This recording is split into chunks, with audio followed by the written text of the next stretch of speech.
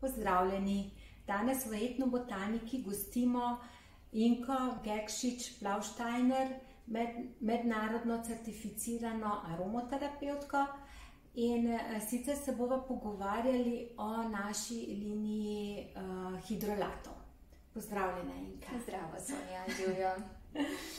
um, jaz bi um, najprej te vprašala, kakšno, uh, kakš, kakšno je tvoje stališče glede hidrolatov in sicer uh, seveda na podlagi tega, kar ti si, um, mednarodno certificirana aromaterapeutka in kakšne so tvoje izkušnje z hidrolati.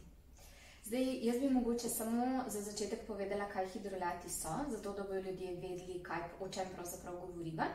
Torej, v postopku destilacije zdravilnih rastlin nastajajo hidrolati in eterična olja. Se pravi, to gre za isti postopek.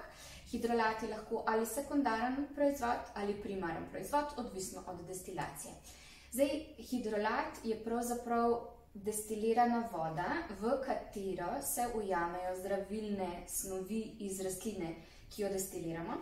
Um, in glavna prednost hidrolatov se mi zdi v tem, da so izredno blagi.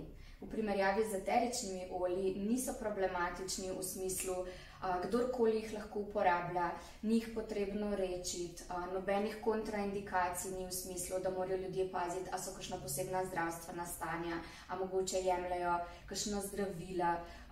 Tudi nivo znanja, ko uporabljamo eterična olja, je mora biti precej višji, zato da jih uporabljamo varno in tega v bistvu pri, pri hidrolatih ni. Hidrolati so zelo varni, zelo široko uporabni in to se mi zdi pravzaprav ena glavnih prednosti.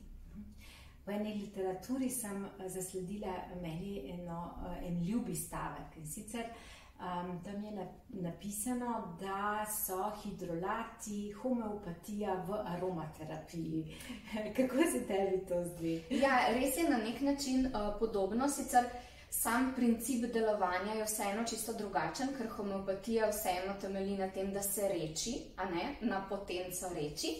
Ampak um, tako da primerjava pravzaprav ne vem, če je čisto na mestu, ampak v resnici po drugi strani pa, pa ja, v smislu tega, da so hidrolati zelo blagi, govoriva, hidrolati je 99,9 pa še nekaj procentov vode, ampak tisto malo, malo, kar pa ima teh zdravilnih učinkovin, je pa pravzaprav zelo učinkovito. In tisti, ki uporabljamo hidrolate, smo navdušeni nad njimi in navdušeni nad rezultati, ki jih dosežemo s hidrolati, kljub temu, da vsebujejo tako majhen delež um, teh snovi, in v, v tem smislu pa lahko dejansko naredimo primerjavo s homeopatijo. Uh mhm. -huh.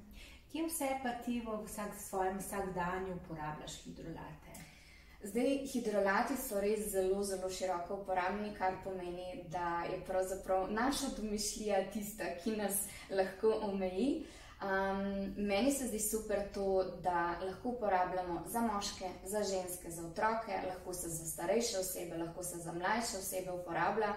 In um, res so primerni in za njego telesa, in za njego uh, duše, na koncu koncev, in za njego doma.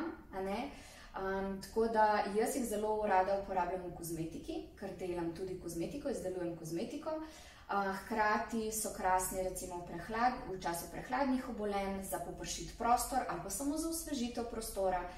Poleti krasni za osvežitev, na splošno, ko nam je vroče.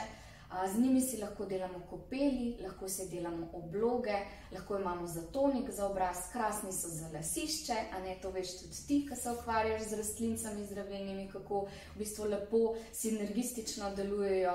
Um, tako da izredno široko uporabni v vsakdanjem življenju. E, pa, kakšno pa je tvoje mnenje o tem, o tem našem naboru petih uh, hidrolatov? Zdaj, meni se zdi, da ste vi res en tak, um, en tak biser, če ga zbrali, zaradi tega, ker, so, um, ker je izbor narejen tako, da so izredno, izredno širok. V bistvu pokrijejo večino nekih vsakodnevnih težav, s katerimi se soočamo. Um, ker imamo, predvsem, vsi hidrolati so um, res primerni za kogarkoli. Uh, in pa in za njego obraza telesa, lasišča, um, za zvečer za lažje zaspati, za prebuditi rožmarin, uh -huh. a ne meta za ohladiti. Tako da v bistvu je en tak krasen izbor, ki nam pokrije vsa področja um, v vsakdanjem življenju, ki jih želimo, od terapevtskih, od nekih fizičnih, ne, telesnih, pa do unih um, duševnih, duhovnih, na koncu koncu tudi. Hvala, Inka. Malenkost in z veseljem.